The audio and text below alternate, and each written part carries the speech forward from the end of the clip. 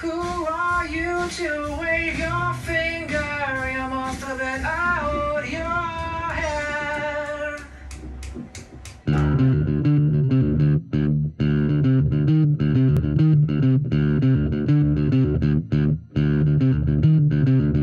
I found Justin Chancellor's setup on the internet and I basically copied the 4x10 setup on my Mighty Space. Then I mic it up with my Sennheiser E606 directly in front of the Nux Mighty Space. I'm also aware that I can line in directly, but look at him, he mic up his cabinet, so I did the same. And this is my Justin Chancellor's Mighty Space preset. It is basically the AC boost, the MLD amplifier, the 8x10 speaker cabinet, and a 6-band EQ. The only thing is that I'm using a single coil setup instead of humbuckers, otherwise I think I'm pretty close.